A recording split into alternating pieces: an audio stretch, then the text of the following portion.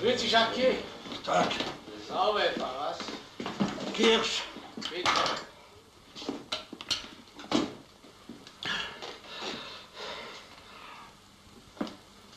Noch einen. Wo ist das Telefon? Da.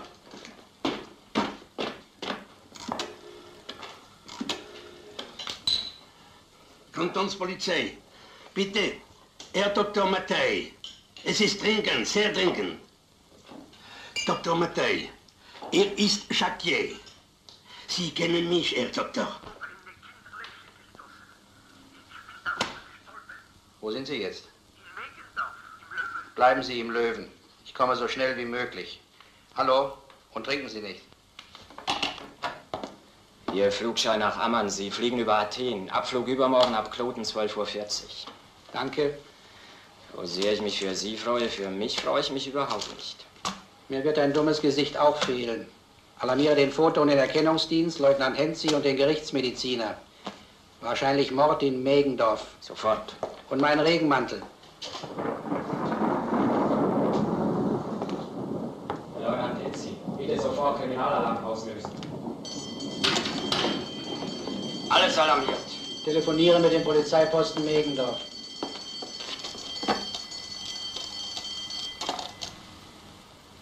Kantonspolizei. Megendorf ist am Apparat. Polizeigefreiter Kunz. Frag ihn, ob es in Megendorf regnet. Ob es regnet? Frag ihn. Oberleutnant Matthä lässt fragen, ob es in Megendorf regnet. Es regnet. Wolkenbruch. Schweinerei. Kunz, hier ist Mathé. Hören Sie zu, tun Sie genau, was ich Ihnen sage. Gehen Sie in den Löwen, dort finden Sie einen Hausierer, Jacquier. Vielleicht kennen Sie ihn. Sprechen Sie nicht mit ihm und lassen Sie andere auch nicht ran. In einer halben Stunde bin ich da.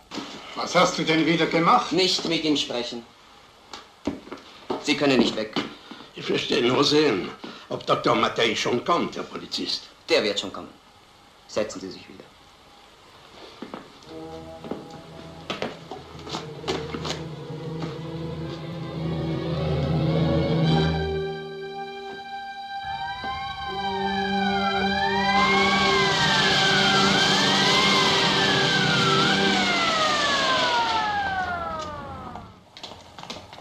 Herr Doktor, zufällig.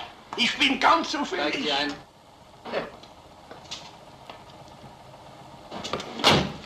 So, nun zeigen Sie uns, was Sie im Wald gefunden haben. Hier.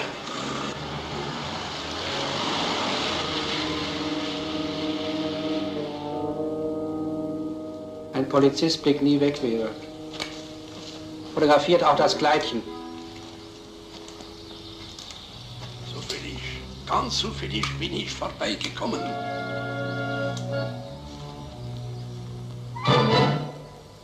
Schick die Kinder fort. Absperren. Den ganzen Sektor hier absperren. Befehl weitergeben. Kunz, kennen Sie dieses Mädchen? Ich habe es schon im Dorf gesehen. Jemand will Sie sprechen, Herr Oberleutnant. Sie ist der Lehrer. Bringen Sie den Mann her. Jawohl, Herr Kommissar. Nun, Herr Doktor. Ein sehr scharfes Messer. Vermutlich ein Rasiermesser. Such noch einmal im Gebüsch. Und dort unter der Fahne. Bei den Knöpfen nachgesehen? Fingerabdrücke. Aussichtslos hängt sie nach diesem Wolkenbruch. Mein Gott, mein Gott. Kennen Sie dieses Mädchen? Das Gretli Moser. Wo wohnen die Eltern? In Riedbach. Weit von hier? Eine Viertelstunde. Ging das Kind zu Ihnen in die Schule? Zu Fräulein Krumm in die zweite Klasse. Haben Mosers noch weitere Kinder? Gretli war das Einzige. Jemand muss es den Eltern sagen. Halten Sie mich nicht für feige, aber ich möchte es lieber nicht tun. Schon gut, Herr Lehrer. Ich kann es nicht. Na, dann muss ich es mal wieder selber machen.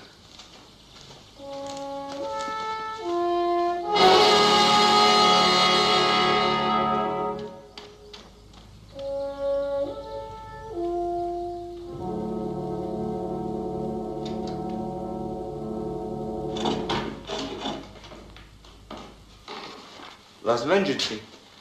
Oberleutnant Mattei von der Kantonspolizei. Herr Moser, Wer bin ich? Was wollen Sie? haben Sie Gretli irgendwo hingeschickt? Zu Ihrer Großmutter in Pferden. Ist Grete was geschehen? Gehen Gretli diesen Weg öfters? Jeden Mittwoch und Samstagnachmittag. Warum? Was ist geschehen? Gretli ist im Wald bei Megendorf tot aufgefunden worden. Gretli ist ermordet worden. Das ist doch nicht möglich. Solche Teufel kann es doch nicht geben. Es gibt solche Teufel, Herr Moser. Ich muss zu meinem Kind. Es ist besser, wenn Sie jetzt nicht zu Ihrem Gretli gehen. Warum ist es besser? Morgen Abend können Sie Gretli sehen. Das Kind wird aussehen, dann, wie wenn es schlief.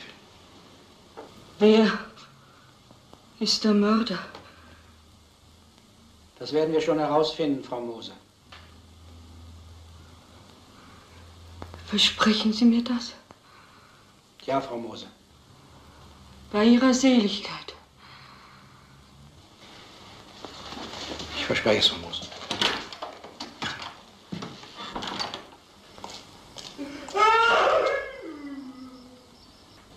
Mörder! Sauhund! Diese Bestie! Dieses Ungeheuer! Leg den Kerl heraus! Also räumt das Lokal bitte! Hol ihn! Was wollen Sie da? Auf meine Leute schießen! Lasst euch nicht provozieren! Ich sage euch zum letzten Mal, ihr sollt das Lokal räumen! Sind Sie der Gemeindepräsident? Jawohl, der bin ich. Sorgen Sie für unseren freien Abzug. Um dem Kerl da zu helfen, fällt mir nicht ein.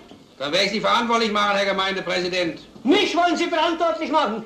Den Hausierer da sollen Sie verantwortlich machen. Jawohl, raus mit ihm! Der Kerl raus! Soll ich um Verstärkung telefonieren? Zu spät. Jackie ist der Mörder! Ich habe ihn gesehen! Es war sonst niemand im Tal! Jetzt ist Schluss damit! Wir holen den Kerl raus! Männer, hört zu! Wir sind bereit, den Hausierer herauszugeben. Wir verstehen euch. Wir sind auch entsetzt. Viele von uns haben auch Kinder. Ein Mann, der so etwas getan hat, ist ein Ungeheuer, das unschädlich gemacht werden muss. Wenn ihr mir beweist, dass Jacquier der Täter ist, könnt ihr ihn haben. Wie ist dieser Verdacht überhaupt entstanden? Ich habe ihn im Tal gesehen! Den ganzen Mittag hat er sich dort herumgetrieben! Kommen Sie auf. Ja, sei kein Feigling. Wie heißen Sie? In der Benz Heiri. Was wollen Sie von mir? Sie haben den Hausierer Jacquier im Tal beobachtet. Wen haben Sie sonst gesehen? Niemand. Seit wann waren Sie im Tal? Seit 10 Uhr. Habe Kartoffeln gesteckt. Und sonst haben Sie niemand beobachtet? Niemand. Kannst beschwören? Hey, Benz, um zwei bin ich doch an deinem Kartoffelacker vorbeigekommen. Ich auch. Und ich mit dem Fuhrwerk, Benz. Aber du schuftest ja immer wie ein Verrückter, du Geizhals. Merkwürdig. Sind also noch andere an Benz vorbeigegangen, ohne bemerkt zu werden. Na, da wollen wir die auch gleich mit totschlagen, die drei, was? Alle, die im Tal waren. Und dich auch. Habt ihr sonst noch etwas gegen den Hausierer vorzubringen? Einen anderen Beweis seiner Schuld? Wenn sich später herausstellt, dass er unschuldig ist, dann hättet ihr einen Totschlag begangen. Überlasst ihn uns. Ich glaube, wir machen das besser. Es stehen uns auch andere Mittel zur Verfügung, um die Wahrheit herauszufinden. Tot wäre ich jetzt. Ohne Sie wäre ich jetzt tot, Herr Doktor. Gebt ihm eine Zigarette.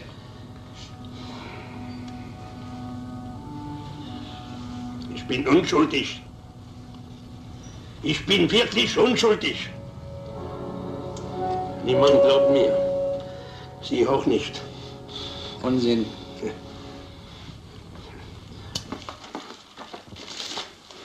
Furchtbar. Tut mir leid, Matej, dass Sie sich an Ihrem letzten Tag mit einer so schrecklichen Affäre abgeben mussten. Unser Beruf.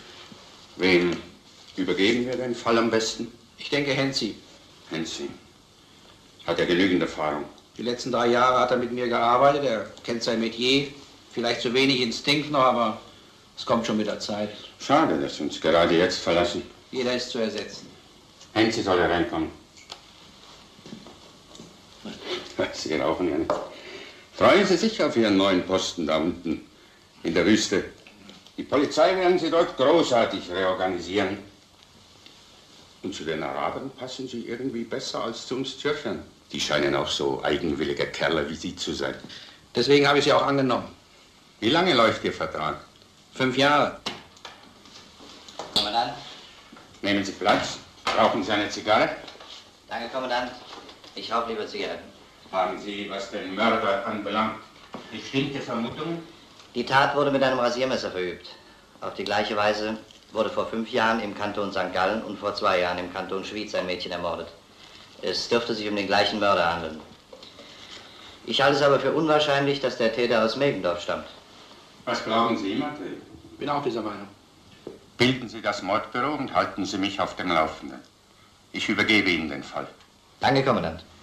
Bei ihm müssen Sie sich bedanken. Was ordnen Sie nun an, Hensi?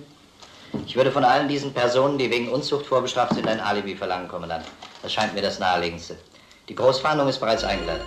Sie wollen doch nicht so eilig sein, dass man mich ausgerechnet im Theater hier. Kantonspolizei. Schon wieder. Sie wollen also wissen, was ich gestern den ganzen Tag gemacht habe. Nein, was Sie heute gemacht haben. Heute. Ich stehe zur Verfügung. Wenn Sie mit mir allein sprechen möchten? Ich bleibe bei meinem Mann. Und ich soll jetzt alle diese Wäsche durchsuchen. Ich soll einen Blutfleck finden. Was geht das mich an, wenn ein Halunke den anderen tötet? Ein Kind wurde getötet. Ein achtjähriges Mädchen. Na, was gefunden? Ich habe mir doch gedacht, dass Sie noch hinauskommen würden, Doktor. Man kann es nicht lassen. Bella, zeig mal dem Herrn Doktor, was wir gefunden haben. Der Kamm gehört Chapier. Sicher. Die Bauern hielten den Hausierer für den Mörder. Was meinen Sie, Herr Doktor? Vielleicht haben die Bauern recht gehabt. Sie sind ja selbst vom Land, Hensi. Da müssen Sie natürlich den Bauern recht geben. Leute vom Dorf schon vernommen? Nichts? Nichts. Jetzt gehe ich in die Schule. Kommen Sie mit, Herr Doktor.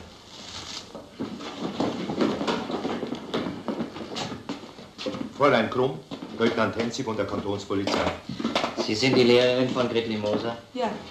Grüß Gott, Kinder. Grüß Gott. Schön habt ihr das Lied gesungen. Wir üben gerade den Choral für Gretlis Beerdigung. Die unteren Stimmen sind noch nicht in Ordnung. Was war's denn für ein Kind, das Gritli? Wir liebten es alle. Seine Intelligenz? Es war ein fantasievolles Kind. Ich wollte einige Fragen an die Kinder richten. Bitte. Ihr habt gehört, was dem Gritli Moser zugestoßen ist. Ich bin von der Polizei. Ich will nun zu euch nicht wie zu Kindern, sondern wie zu Erwachsenen reden. Ein Mann, ein schlechter Mann hat das Gritli getötet. Es gibt solche schlechten Männer.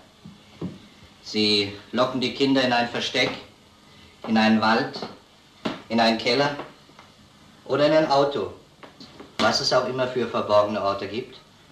Und manchmal verletzt ein solcher Mann ein Kind so schwer, dass es dann sterben muss.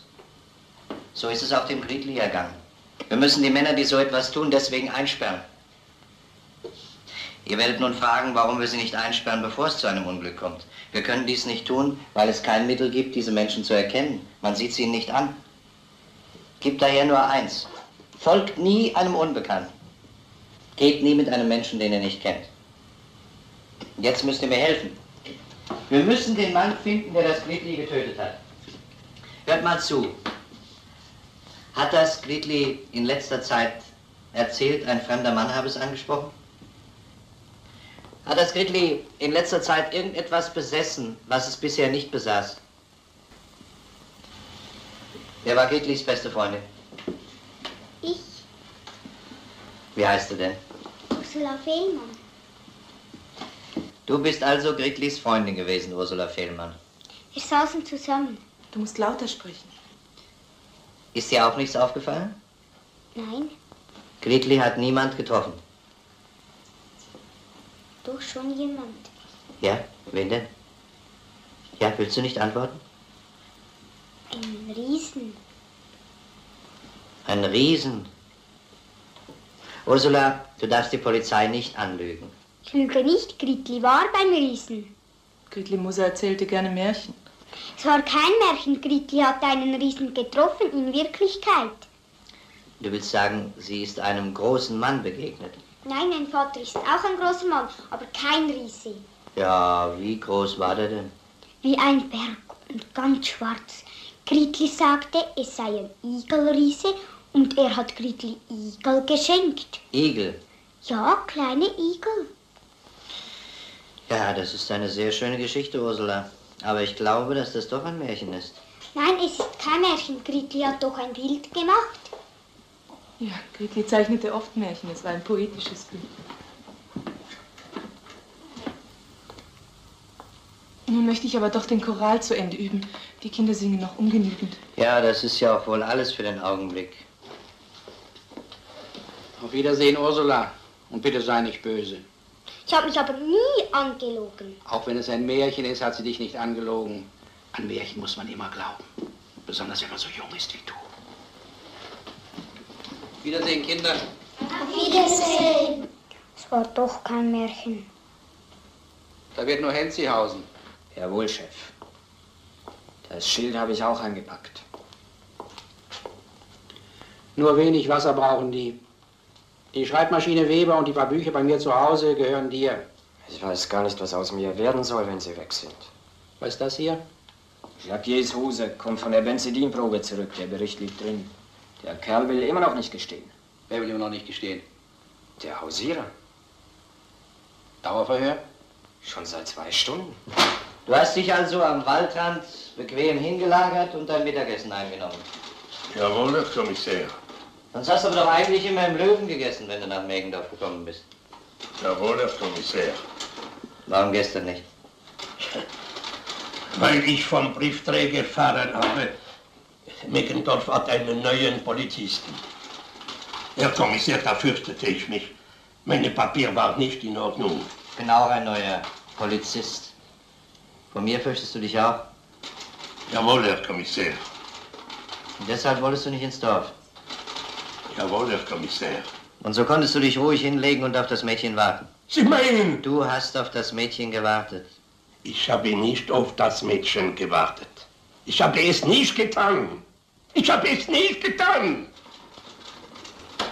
Du hast erzählt, du seist nach dem Mittagessen in den Wald gegangen, um nach Zürich zurückzukehren. Da wollte ich die Abkürzung nehmen wegen dem Regen. Und dabei bist du auf die Leiche gestoßen. Ja. Und du hast die Leiche nicht berührt. Nein. Wir haben dir deine Kleider weggenommen, Jacquet, und dir andere dafür gegeben. Kannst du dir denken, weshalb? Ich weiß nicht, Herr Kommissar. Um eine Benzidinprobe vorzunehmen. Weißt du, was das ist, eine Benzidinprobe? Eine chemische Probe, um Blutspuren festzustellen. Wir haben an deiner Hose Blut festgestellt, Jacquet. Es stammt vom Mädchen. Weil ich über die Leiche gestolpert bin. Es war schrecklich. Warum hast du es verschwiegen? Und dann bist du ins Dorf gerannt, um uns zu alarmieren. Jawohl, Herr Kommissar.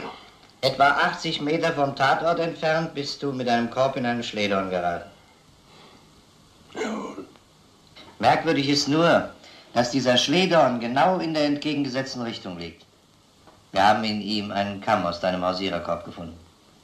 Du bist also nicht nach Megendorf gerannt, sondern in den Wald hinein. In meinem Schreck habe ich mich vielleicht verirrt. Verirrt? Ein paar Schritt vom Waldrand entfernt? Das scheint auch sehr unwahrscheinlich zu sein. Alles ist unwahrscheinlich. Man könnte aber auch eine andere Erklärung geben. Nachdem er das Mädchen getötet hat, ist er davongerannt und ist in den Schledorn geraten. Da ist ihm eingefallen, dass ihn der Briefträger schon gesehen hat und dass er sich nicht unbemerkt wegstehlen kann. Darauf hast du beschlossen, doch nach Meggendorf hinunterzugehen und die Sache selber zu melden, um so den Unschuldigen zu spielen. Ich habe aber das Mädchen nicht gesehen. Ich habe es nicht getan. Ich bin kein Mörder. Glauben Sie mir doch. Reg dich doch nicht auf, wir wollen dich nicht quälen. Wir sind nur bemüht, die Wahrheit zu finden. Willst du Kaffee? Danke.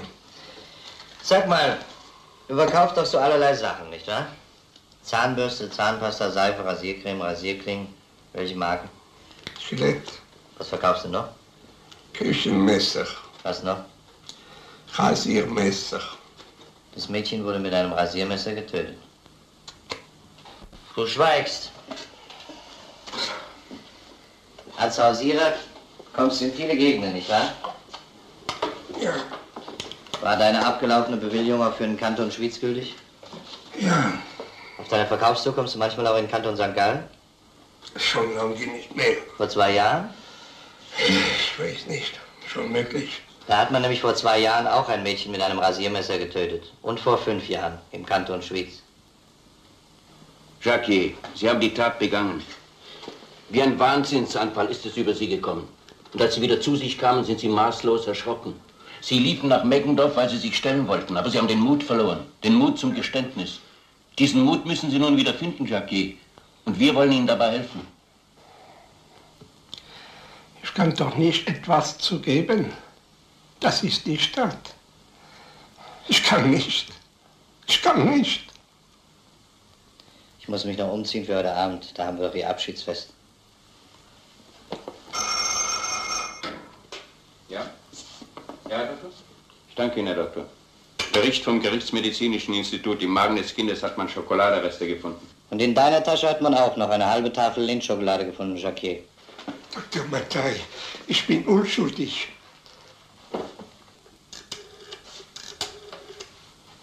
Bei uns aus der Kantine zwei Abendessen. wir ehrlich sein, auch in dieser Stunde des Abschieds, in der wir ja am meisten Gefahr laufen, zu lügen. Ich gehe fort und bin nicht sicher, ob ich wiederkommen werde. Denn ich will mich an irgendeiner Weltecke niederlassen mit besseren klimatischen Verhältnissen. Aber ich möchte nicht von Ihnen scheiden, ohne die Befürchtung ausgesprochen zu haben, dass unsere Welt vielleicht ein bisschen zu perfekt geworden ist. So perfekt, dass wir uns bald selber nicht mehr nötig haben. Alles ist organisiert, läuft zum Besten und sogar die Verantwortung ist uns abgenommen. Liegt sie doch in dem immer dichter gewobenen Netz der Gesetze, Statuten und Paragraphen. Das macht etwas traurig, denn so ist wirklich ein jeder von uns ähm, auswechselbar geworden und hinterlässt keine Lücke mehr, wenn er scheidet. Auch ich nicht. Entschuldigen Sie mir, meine Damen und Herren, diesen leicht melancholischen Abgang, aber ich war Ihnen das schuldig, denn Sie müssen ja schließlich hier bleiben.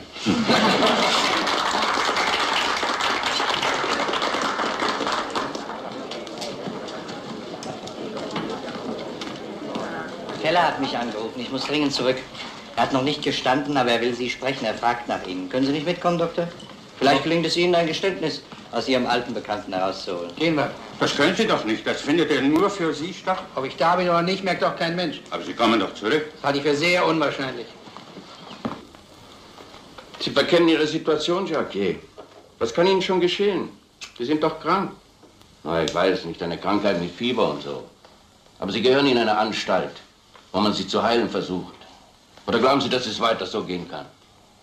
Glauben Sie, dass Sie weiter frei herumlaufen können, um nach ein, zwei, drei Jahren einer neuen Attacke zu erliegen und ein anderes Mädchen zu ermorden? Soll ich etwa ein, zwei, drei Jahre warten, bis der Mörder ein anderes Mädchen getötet hat? Damit Sie mir glauben, dass ich unschuldig bin? Dr. Mattei. Dr. Mattei.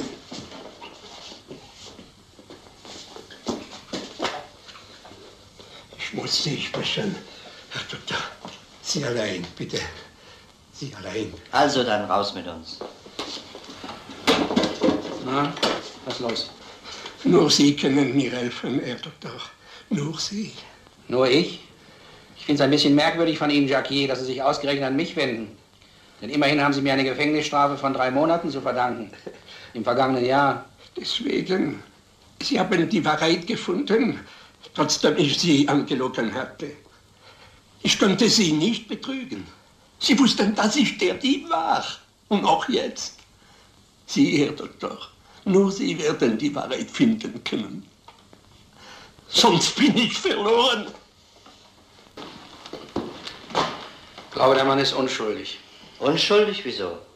Ich habe vom ersten Augenblick an nicht recht geglaubt, dass der Mann der Mörder ist.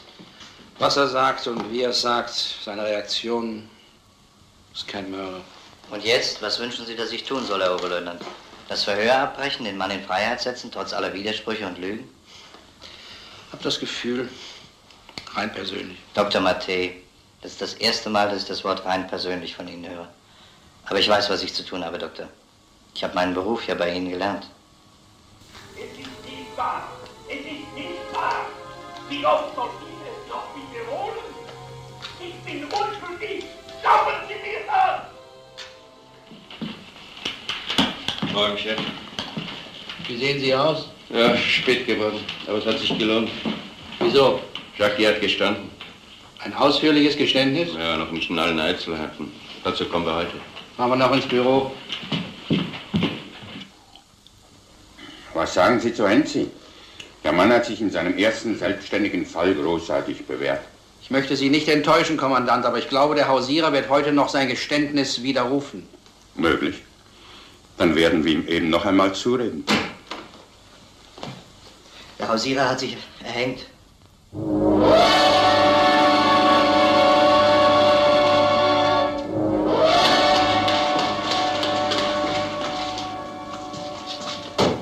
Der Mann ist tot.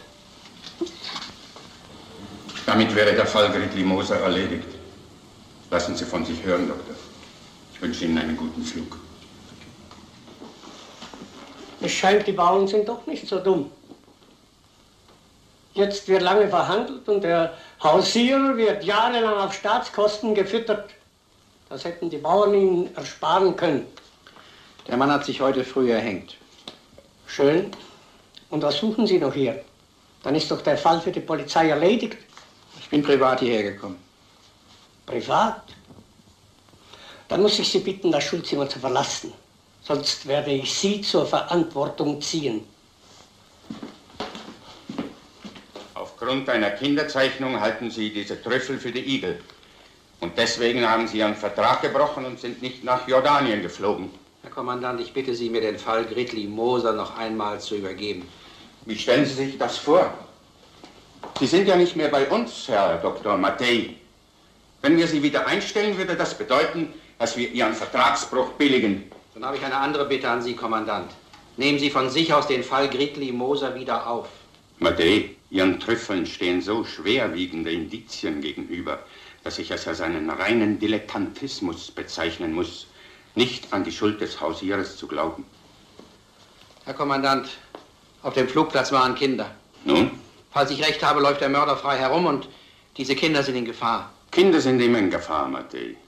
In Deutschland zählt man schon mehr als 15.000 Sittlichkeitsdelikte im Jahr an Kindern. Aber Kommandant, es geht doch hier nicht um Statistik. Falls ich recht habe, wird eines Tages ein anderes Kind ermordet. Falls, Mattei. Aber dieses Falls ist so unwahrscheinlich, dass es uns zu einer weiteren Untersuchung nicht berechtigt. Ich könnte dies dem Staat gegenüber nicht verantworten. Dann werde ich den Fall persönlich wieder aufnehmen. Das ist doch sinnlos. Sie sind übermüdet, nervös. Nehmen Sie ein paar Wochen Urlaub. Ich bin sicher, dass Sie dann die Dinge anders sehen werden. Lassen Sie die Hände von dieser unglückseligen Angelegenheit. Der Fall Gritli Moser ist erledigt. Ich werde den Mörder finden. Wie Sie wollen. Das ist Ihre Privatangelegenheit geworden. Von der Polizei können Sie keine Hilfe erwarten. Ich weiß. Nehmen Sie Ihre Trüffel mit. Grüß dich, Hans. Grüß Gott, Robert. Setz dich. Danke. Rauchst du? Nicht in der Praxis. Aber du rauchst auf einmal. Ja. Feuer? Nein, danke, bemühe dich nicht. Nervös? Ein wenig. Mit dem Schlaf steht es auch nicht zum Besten. Sag mal, dich hat wohl der Kommandant angerufen. Ja. Was hat er gesagt? Oh, er hat mir angedeutet, dass du überarbeitet bist und hat mich gebeten, dir zu helfen, soweit es möglich ist. Finde ich eigentlich sehr nett von ihm. Aber deswegen bin ich nicht gekommen. Noch nicht. Du kennst den Fall Gritli Moser? Was ich in der Zeitung gelesen habe. Ich glaube, dass Gritli ihren Mörder gezeichnet hat. Du glaubst nicht, dass der Hausierer der Täter ist? Nein. Warum hat sich der arme Teufel dann erhängt? Weil er alt war, keine Kraft zum Leben, einsam, verloren, was weiß ich. Und was möchtest du von mir? Ich besitze nichts als diese Kinderzeichnung. Sie ist die einzige Spur, die ich verfolgen kann. Aber ich bin wie ein Laie vor einem Röntgenbild. Ich verstehe diese Zeichnung nicht zu deuten. Du bist ein Psychiater. Was kann deine Wissenschaft über den Mörder Gritli Mosers aus dieser Zeichnung herauslesen? Das will ich von dir wissen. Fantasie und Realität vermischen sich. Einiges auf dieser Zeichnung ist real. Der große Mann, das Auto, das Mädchen. Anderes wirkt wie verschlüsselt. Die Igel, von denen du behauptest, es seien Trüffel. Der Käfer, oder was ist das? Ein Tier mit Hörnern. Und der Kasperle. Der kommt mir besonders absurd vor. Sprich von dem Riesen. Groß, massig steht er da. Nach dem Aussehen durchaus möglich.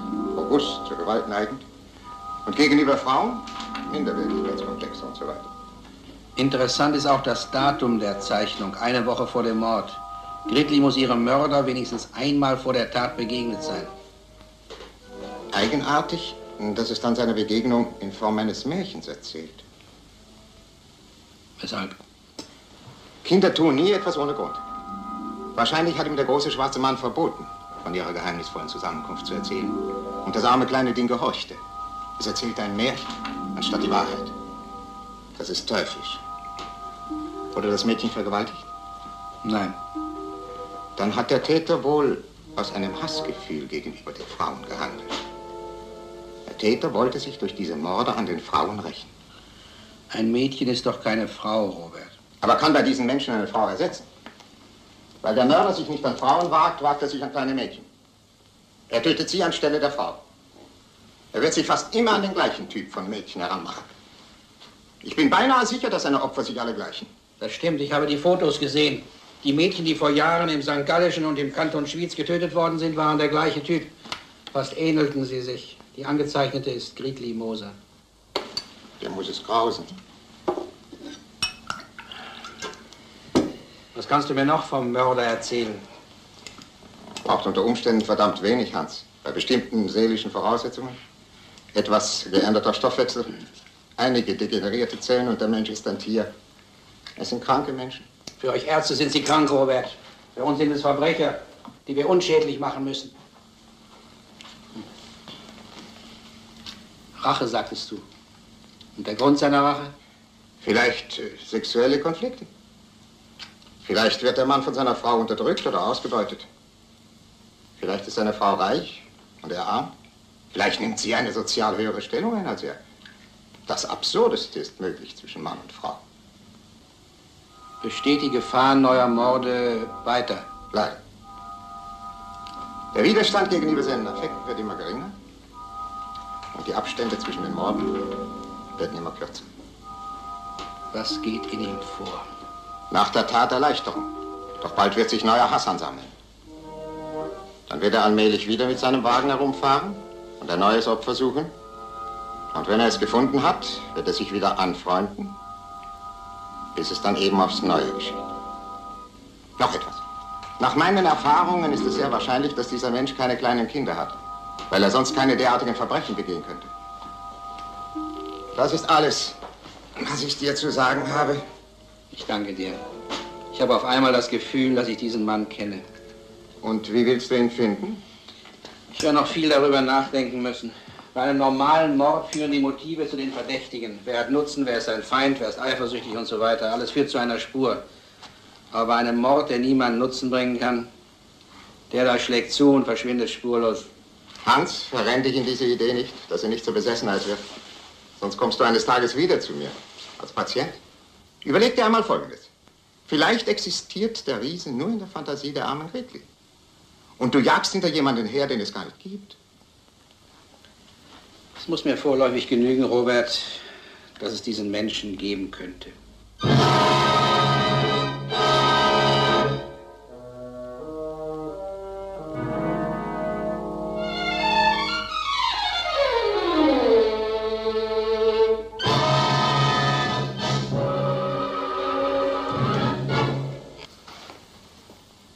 Was hast du wieder? Nichts.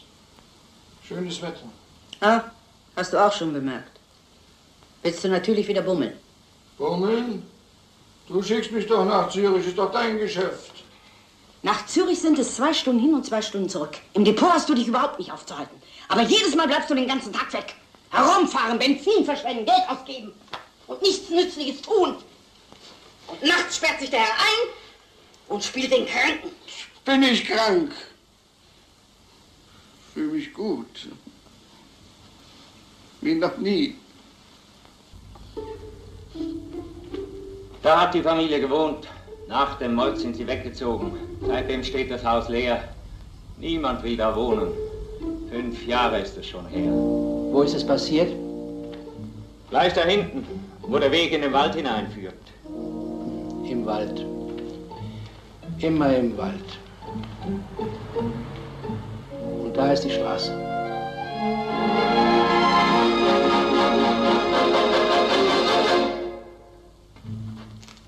Da. Da hat sie gelegen, das arme Ding. So nahe der Straße. Es war Sommer, alles war grün. Da konnten sie nicht durchsehen, so wie jetzt. Es war das schrecklichste Verbrechen im Kanton St. Gallen seit 25 Jahren. Nahe der Landstraße. In allen drei Fällen. Danke. Adieu. Drei Tatorte. Alle liegen in der gleichen Richtung.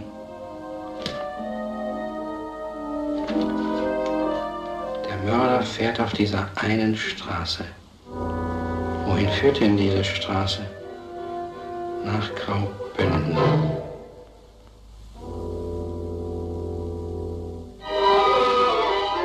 Ein Steinbock. Nur Autos aus Graubünden haben einen Steinbock auf dem Nummernschild.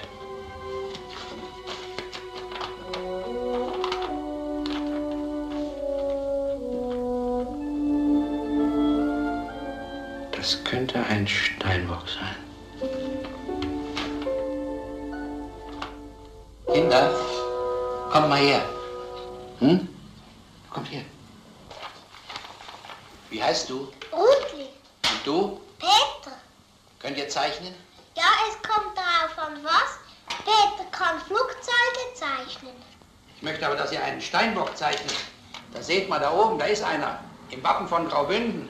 Da ist ein Steinbock. Den könnt ihr mir doch zeichnen. Hm? Sehr gut, Kinder. Wenn Sie gesagt hätten, es seien Ameisen, ich hätte es auch geglaubt. Kommt.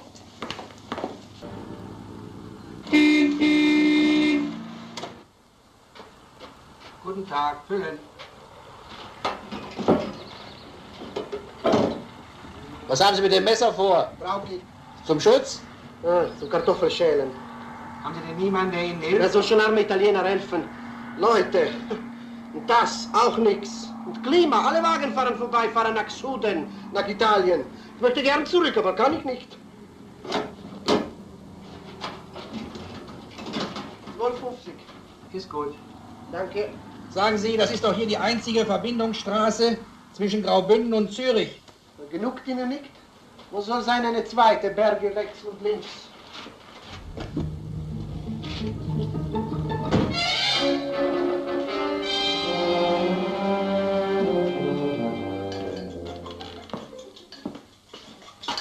Bin doch immer da. Ja, sehe ich. Kann ich mich setzen? Prego.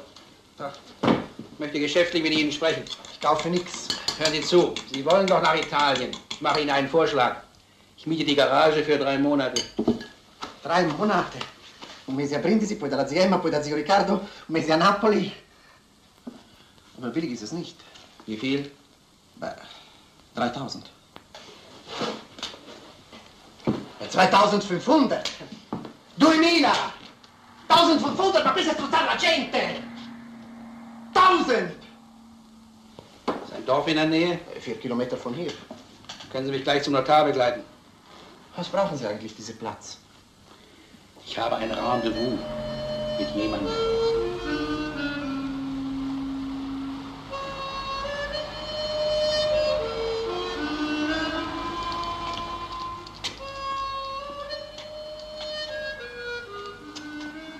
Na, was gefangen?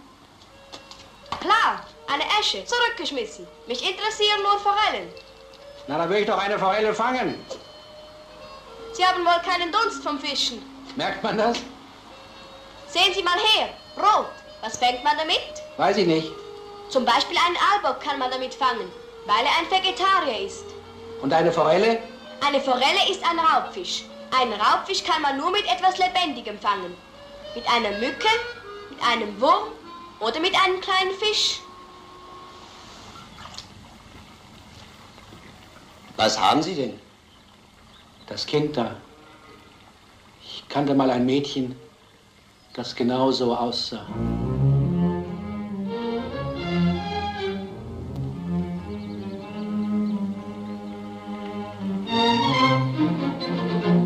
Grüß Gott.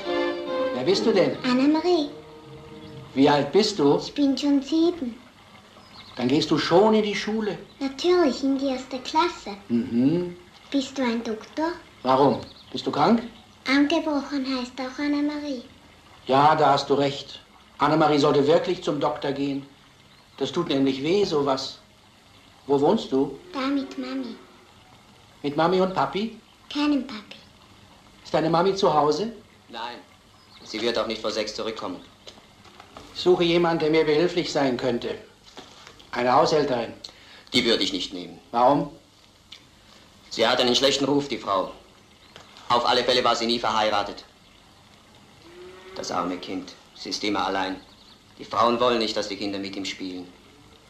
So ist es halt in einem kleinen Dorf. Das kann ich mir vorstellen. Wo arbeitet die Frau? In der Papierfabrik bei der Mühle. Mhm. Danke. Mein Name ist Matthä. Kann ich Sie sprechen? Ja, bitte. Was wünschen Sie von mir? Ich habe das alte Haus mit der Tankstelle da oben an der Landstraße gemietet. Ich bin allein. Ich würde Sie gerne engagieren als Haushälterin. Vielleicht könnten Sie mir auch mit der Tankstelle behilflich sein. Natürlich können Sie oben mit Ihrem Kind wohnen. Ich würde Sie gut bezahlen. Ich weiß nicht. Ich habe meine Arbeit in der Fabrik. Acht Stunden täglich, nicht? Ja. Aber keine schwere Arbeit. Ich habe Ihr kleines Mädelchen heute Nachmittag beobachtet. Wir sprachen miteinander. Annemarie war sehr lieb, nur sie schien mir ein bisschen traurig, ernst, ein wenig einsam. Ist nicht sehr gut für ein Kind. Da oben bei mir würde Annemarie mehr von ihrer Mutter haben. Glauben Sie nicht auch? Aber die Schule. Die Landstraße ist doch vier Kilometer weit von hier. Daran habe ich auch gedacht. Es würde mir nichts ausmachen, das Kind in die Schule zu bringen und mittags wieder nach Hause, Warum haben Sie sich ausgerechnet an mich gewandt? weil sie mir empfohlen wurden. Ich empfohlen? Ja. Man hat mir gesagt, Sie seien eine alleinstehende Frau, die arbeitet und alles für ihr Kind tut. Man hat mich empfohlen? Ich heiße Heller. Frau Heller. Wohin kommt der Turm? Turm, es hat keinen Turm. Aber es muss doch einen Turm haben. Nein, das ist nicht mehr modern. Häuser werden heute nicht mehr mit Türmen gebaut. Ich möchte gerne einen Turm. Naja, einen kleinen Turm wird es natürlich auch haben. Hier kommt der Zaun bis hier. Zaun. Hm. Und dann kann ich mit deiner Marie darin spazieren gehen.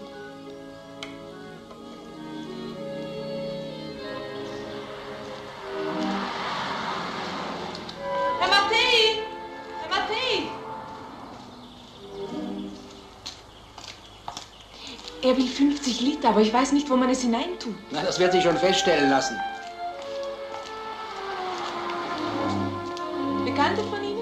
Nein, ich dachte nur.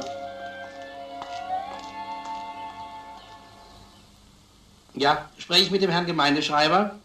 Ja, es handelt sich um eine Erbschaftsangelegenheit. Hier spricht Rechtsanwalt Hügi. In Ihrer Gemeinde lebt ein Herr Friedrich Kramer. Äh, richtig. Nach meinen Angaben ist er unverheiratet. Aha. Ach, er hat sogar drei kleine Kinder. Ach, dann ist er bestimmt nicht der Betreffende. Ja, entschuldigen Sie bitte. Ja, guten Abend. Guten Abend, Herr Meier. Hier spricht der Vater des kleinen Fritz. Meine Frau sagte mir, dass unsere Kinder zusammen ins Kino gegangen sind. Wie bitte? Ach, er ist erst eineinhalb Jahre. Oh, dann muss das ja ein Irrtum sein. Da wird er ja kaum ins Kino gehen. Ja, entschuldigen Sie bitte. Ja, ja, da. Möchten Sie. Soll ich den Kaffee hier hinaufbringen oder? Sie haben gehorcht, Frau Heller. Ich habe nicht gehorcht. Ich habe nur gehört. Ich suche einen Mann, der keine Kinder hat. Ja, das begreife ich. Kleine Kinder kann er nicht haben. Sie sind mir keine Erklärung schuldig. Ich werde den Kaffee unten nehmen, Frau Heller. Grüß Gott, Herr Pfarrer.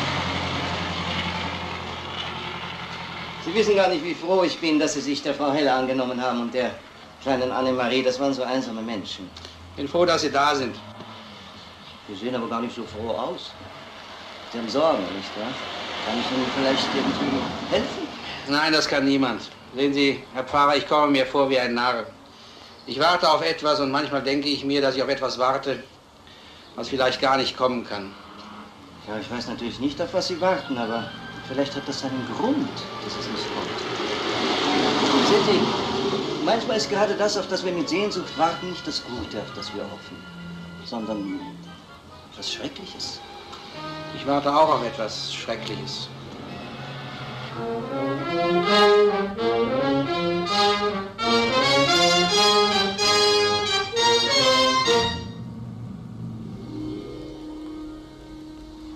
Annemarie! Annemarie! Komm, komm bitte herauf. Ich möchte nicht, dass du da unten spielst. Aber da unten ist das Schloss von Dornröschen. Es gibt da kein Schloss vom Dornröschen. Ich meine, wenigstens da unten nicht. Komm.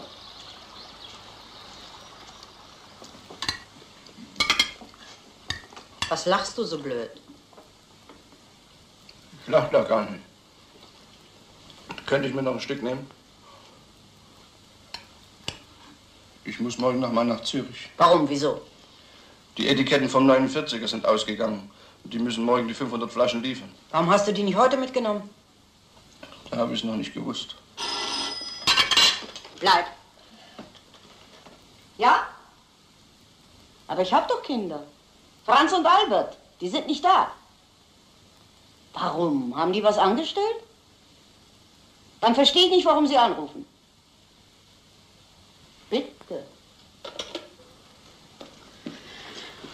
War? Geht dich nichts an. Sind nicht deine Kinder.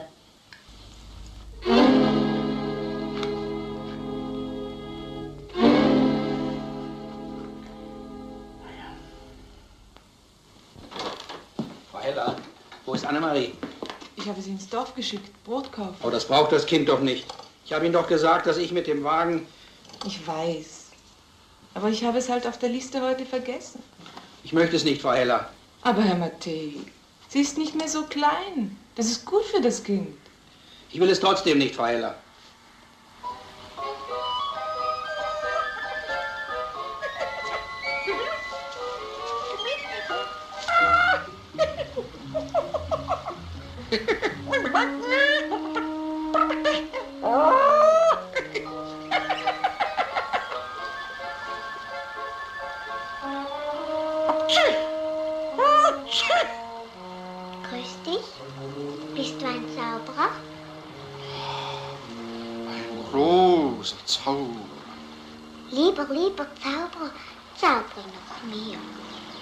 Ich dir denn zaubern? Ein Schloss wie das von Dornröschen mit vielen Türmen. Oh. Ja, nicht heute. Vielleicht morgen. Hm? Wirst du bestimmt wiederkommen? Jeden Tag, wenn du nur zauberst. Ich werde zaubern, bestimmt. Aber du darfst es niemandem sagen. Niemand? Niemandem. Wenn du jemandem nur ein Wort sagst, kann ich nicht zaubern. Ich sage es bestimmt keinem Menschen, ich schwöre. Sieh mal an, der Buntspecht. Schöner neuer Wagen, schon bezahlt? Herr Kommissar, diesmal ist wirklich alles in bester Ordnung. Seit dem letzten Mal Wie viel? acht Monate. Na, ich meine, wie viel Benzin? Nach Belieben, Herr Kommissar. Geschäfte gehen schlecht. Machen wir voll. Wie Sie wünschen, Herr Kommissar. Hast du deinen Wirkungskreis vom Kanton Zürich nach Graubünden verlegt? aber Herr Kommissar. Ich kann mir schon denken, dass der Zürich ein bisschen zu heiß geworden ist, was? 1680. Ja, ist schon recht. Verzeihung, Herr Kommissar, dass mir nur so rausgerutscht. Oh, bitte, bitte, ein Trinkgeld ist mir immer willkommen. Soll ich die Scheibe aufputzen?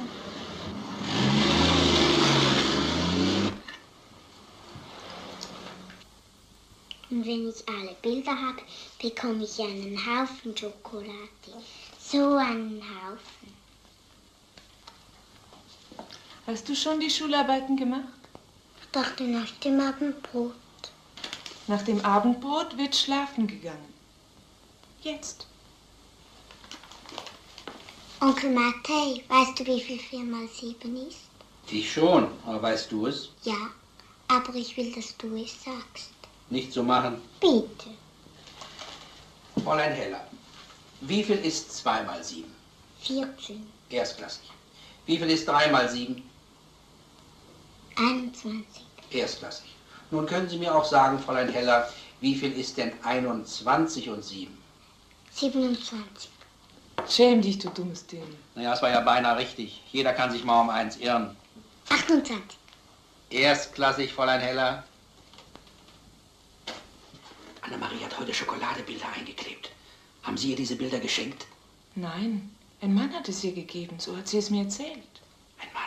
Wann war das? Heute. Was hat sie erzählt? Warum haben Sie mir nicht gesagt, dass Sie von der Polizei sind? Weil ich nicht mehr bei der Polizei bin und weil es Sie nichts angeht, Frau Heller. Herr Mattei, jeden Abend diese Telefongespräche. Immer fragen Sie nach Kindern.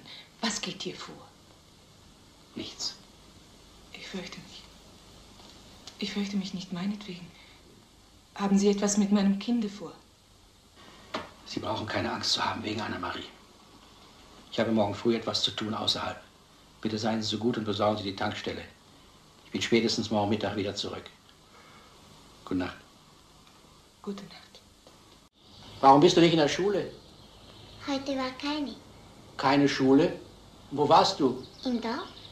Das glaube ich dir nicht. Ich habe dich gesehen. Du bist da oben aus dem Wald gekommen. Ich war im Dorf. Komm, steig ein. Von wem hast du die Schokolade bekommen? Von einem Mädchen. Annemarie, wer hat dir die Schokolade gegeben? Ich hab's gesagt. Ein Mädchen. Das Mädchen, mit dem du gespielt hast. Ja. Gut. Dann komm. Dann wollen wir jetzt zu dem Mädchen hinfahren, nicht? Und du wirst mir zeigen, wo du gespielt hast. Du willst nicht kommen? Willst du mir jetzt nicht die Wahrheit sagen? Hm? Hat dir ein Mann die Schokolade gegeben? Ein großer Mann. Annemarie, schau. Du musst mir jetzt sagen, wer dir die Schokolade gegeben hat. Sieh mal, ich kannte mal ein Mädchen, so eins wie du. Dem hat auch ein großer Mann Schokolade gegeben, die aussah wie kleine Igel. Und dann ist das Mädchen mit dem großen Mann in den Wald gegangen und dann hat der große Mann dem Mädchen sehr wehgetan. Du lügst. Annemarie, du musst mir die Wahrheit sagen. Ich will doch nur, dass dir nichts Böses geschieht. Ich hab dich doch gern. Ich hab den Zauberer gern. Ach, ein Zauberer hat dir die Schokolade gegeben. Ich darf es nicht sagen, sonst kann er morgen nicht zaubern. Ja, dann darfst du auch mit niemandem darüber sprechen. Geh jetzt in dein Zimmer. Wo zaubert er denn? Im Wald? Danke. 91, 91, 91, 49. Schrott. Packen Sie Ihre Sache nicht, fahren Sie jetzt sofort ins Dorf zurück in Ihr altes Haus. Sie nehmen Ihr Kind mit. Lassen Sie es nicht aus den Augen. Was soll das heißen? Ich möchte im Moment nicht darüber sprechen. Ich will aber, dass Sie darüber sprechen, Herr Doktor. Ich habe ein Recht darauf. Es ist mein Kind. Sie müssen weg von hier, weil ich das Leben Ihres Kindes nicht mehr länger aufs Spiel setzen kann. Nicht mehr länger. Das Leben meines Kindes haben Sie aufs Spiel gesetzt? Frau Heller, Annemarie hat von einem unbekannten Mann Schokolade bekommen. Ich bin überzeugt, dass es sich um den gleichen handelt, der vor mehreren Monaten ein Mädchen in einen Wald gelockt und getötet hat. Herr Dr. Mattei, haben Sie Annemarie und mich in Ihr Haus genommen, um diesen Mörder zu finden? Ja. Ich wollte es anders. Aber ich habe einen Fehler begangen. Man kann kein Kind dauernd überwachen, wie ich mir vorgestellt habe. Annemarie hat sie mit dem Mörder ohne mein Wissen getroffen. Ich weiß nicht einmal, wie oft. Dass nichts passiert ist, ist ein Zufall. Annemarie war also so etwas wie ein Köder. Ich musste den Mörder finden. Es gab keinen anderen Weg, ihn in eine Falle zu locken. Und er ist in diese Falle gegangen. Wissen Sie, dass dieses Kind Sie liebt?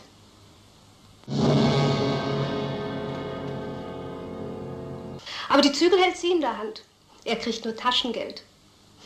Die beiden Söhne sind natürlich aus erster Ehe. Ja, ich kannte den feinen Herrn, als er noch nicht so fein war. Ein Diener war er. Und damals war er auch nicht so dick. Herr Schrott kauft bei uns nur eine Sorte Schokolade. Unsere Spezialtrüffel.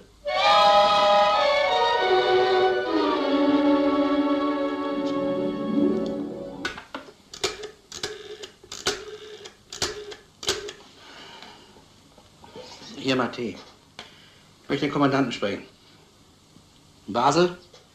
Ist Leutnant Feller im Dienst? Dann geben Sie mir Weber, seinen Assistenten, Fräulein. Ja, Weber? Ja, ich bin es.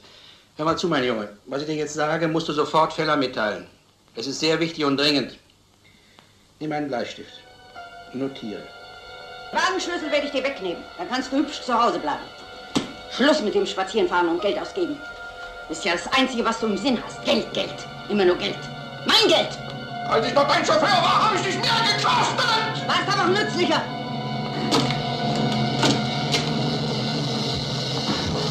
Gedemütigt, erniedrigt, von einer Frau, wieder einmal, von seiner Frau, von abgrundtiefen Hass und den unbezwingbaren Drang, wieder töten zu müssen, getrieben, fährt Schrott mit einem Rasiermesser bewaffnet zum ausgemachten Treffpunkt von Annemarie und ihm. Das versteckte Waldstück unterhalb der Tankstelle. Dort angekommen, kämpft sich Schrott mit seinem Kasperle durchs Geäst. Als er sein Ziel erreicht hat, erwartet ihn dort das unerwartete Grauen. Auf dem laubbedeckten Boden liegt der scheinbar reglose Körper eines kleinen Mädchens. Vom Schrecken gelähmt erblickt Schrott plötzlich einen Mann, der hinter einem Baum hervortritt. Es ist Dr. Mattei. Blind vor Wut stürzt sich der Wahnsinnige mit dem Rasiermesser auf Mattei und verletzt ihn an der Hand. Schüsse fallen. Schrott bricht getroffen zusammen. Versteckte Polizisten tauchen auf und versorgen die Verletzten. Schrott und die am Boden liegende Fensterpuppe werden fortgetragen. Ruhe. Keine Bewegung. Das Kind darf es nicht sehen. Annemarie ist dem mörderischen Zauberer Schrott nur knapp entkommen. Glücklich und erleichtert schließt Frau Heller ihre kleine Tochter in die Arme. Nur das Kasperle erinnert an den wahnsinnigen, zaubernden Igelriesen Schrott, welches Mattei in seiner blutenden Hand hält.